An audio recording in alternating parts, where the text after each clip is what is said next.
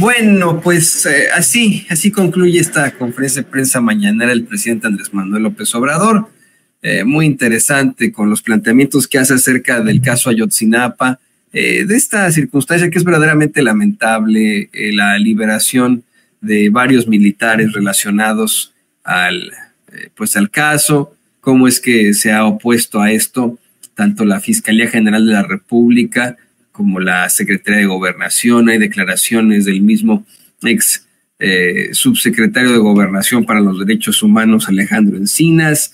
El presidente termina una, con una declaración muy fuerte en la que pues se burla incluso de Carmen Aristegui, asegurando que si no actúan con principios en su gobierno, bueno, pues entonces estarían muy preocupados por el reportaje de Carmen Aristegui, a quien sarcásticamente llamó paladina de la libertad, pero no fue la única a la que se refirió en este tipo de términos el presidente al burlarse de pues otros eh, personajes que siguen detentando los medios de comunicación corporativos como si se tratara de, eh, vamos, eh, pues las grandes cabezas parlantes en los nichos periodísticos.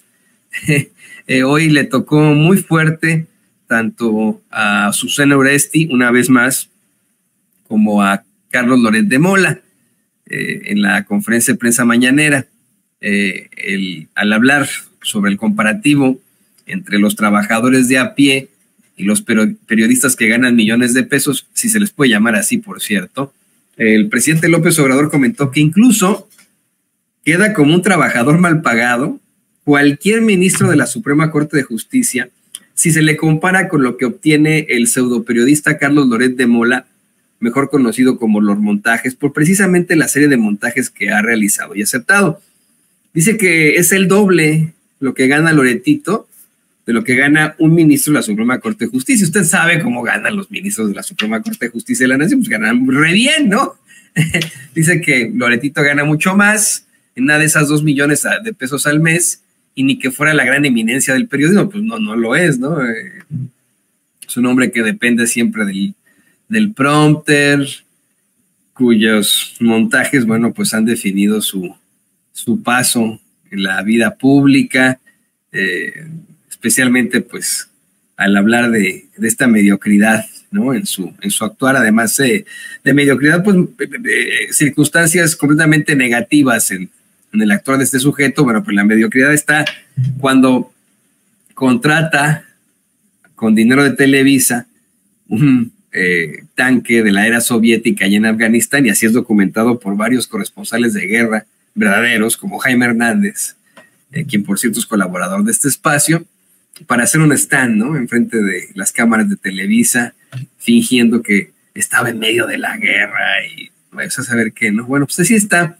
eh, él es otro de los que hacen eh, sus tonitos ahí chistosones, como eh, a Susana Oresti, de, los que nos burlamos siempre, ¿no?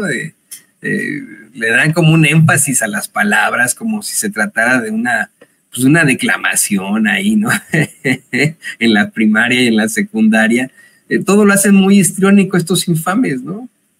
de la forma más chistosa y bueno, hacíamos el comparativo haciendo, intentando eh, imitar las voces que hacen estos pepinazos, ¿no? Con situaciones cotidianas como ir al súper o, un corte de pelo o algo así, pues no, no cuadra. Desde ahí, ahí es donde incurren en sus cosillas. el presidente López Obrador dice que si Loret de Mola gana tanto, es porque se alquila como golpeador para defender a los corruptos que antes eran los que mandaban en México. Insistió en que su gobierno no censura a nadie, que lo que ocurre con Azucena Oresti es que pues ella quería tener otro espacio y se acabó. Relató que hace un año dijo que estaban contratando a Oresti en la plataforma Chayoteril de Choque, ahí donde trabaja Loretitos. Loretito, latinos, que estoy ahí, latinos, pero que quería estar al mismo tiempo en Milenio y que los de Milenio le dijeron, no, pues sabes que discúlpanos, pero no se puede.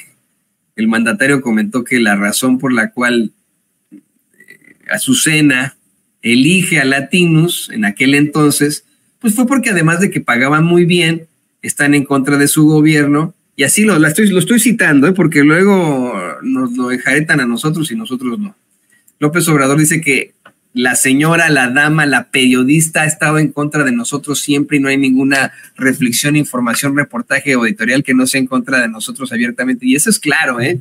Mire, hasta Loretito ha tenido de alguna otra forma comentarios en algún momento positivos sobre el gobierno del presidente López Obrador, el mismo Ciro Gómez Leiva, Joaquín López Dóriga, ahora que pues, pone su cara ahí, ¿no? La, que pone la jeta ahí que tiene eh, al aceptar sus errores después de que le cierran el hocico, la prueba más fea, eh, hasta ellos. Pero efectivamente, a usted Noreste siempre es golpeteo, siempre es planteamiento ahí cuestionable, pifia tras pifia, pero sobre todo golpeteo contra López Obrador.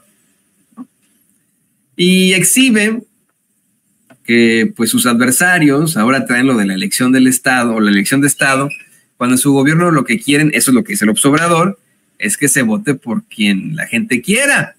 Y fue un movimiento el suyo, el que sí padeció una elección de Estado y un fraude electoral. Comentó que, por ejemplo, Azucena Oresti ya tenía un programa en Radio Fórmula y que de todos modos no hay problema alguno con ella, que le desea que le vaya muy bien, como le desea que le vaya muy bien a Ciro, Ciro Gómez Leiva, con quien lleva debatiendo unos 20 años, como desea que le vaya muy bien al pseudoperiodista Carlos Loret de Mola, como desea que le vaya muy bien a don, Chayotes oficiales Joaquín López Doriga y a todos, eh, eh, dice que pues en la comunicación, eh, perdón, en la democracia, la comunicación significa mensajes de ida y vuelta y una dictadura no. También insistió en que le está pidiendo al pseudoperiodista Carlos Loret de Mola, pues que diga cuánto gana y cuáles son sus bienes. Esto es algo que viene exigiendo desde hace ya mucho tiempo el presidente López Obrador. Eh, planteó que ahora que Loret dice que sus hijos actúan con prepotencia y aplican el influyentismo, pues simple y sencillamente tendría que probarlo, no hacer un montaje. Todavía se lanza el presidente a aclarar, ya sé que esa es su especialidad y bolas. Amplió en que algo que no se puede ocultar es el dinero y que por eso lo emplaza a cambiar todos los bienes de su familia con sus bienes. Sé que le va a dar mucha tristeza, esto ya lo había dicho el presidente varias veces, pero insiste en, que, pues ahora que cambien, si es que eso llegara a pasar, ¿no? Que no va a pasar si cambiaran sus bienes, pues él le daría mucha tristeza dejar la quinta que le heredaron sus padres ahí en la chingada. Así se llama, la chingada Palenque. Eh, pero que pues se va a rayar, puesto que va a disfrutar mucho en la alberca de la mansión que tiene Loreta ahí en Valle de Bravo, o en su departamento que tiene ahí en la calle de Rubén Darío en Polanco. Pues sí se va a rayar, la verdad es que sí. Ese, el presidente si, se, si le cambia todo, o bien los departamentos que tiene ahí en, Miami, Florida. De hecho, David tiene ahí las imágenes que nos gusta mucho a nosotros mostrar. Las conseguimos nosotros, ¿no? Desde la, eh, la imagen de satélite que, se consigue de estos departamentos que tiene ahí eh, eh Loret de Mola hasta, hasta los drones que los toman. Ahí mira nada más. No, pues sí se va a rayar y si le cambia sus bienes. Claro que Loretito, pues yo le, yo le cuento cuando Loretito va a decir, sí, cómo no, te cambio la chingada, te cambio, este, mira mi departamento ahí con esa albercota, te lo cambio por, presidente, te lo cambio por, por la chingada, ¿no? pues yo creo que no. Ahora bien, mantener esos pinches departamentos chingones, ha de ser una la nota, pero de esas gruesas. Ya, ya imagino cuánto, cuánto han de pagar el condominio, ¿no? Mensualmente o, anualmente en servicios.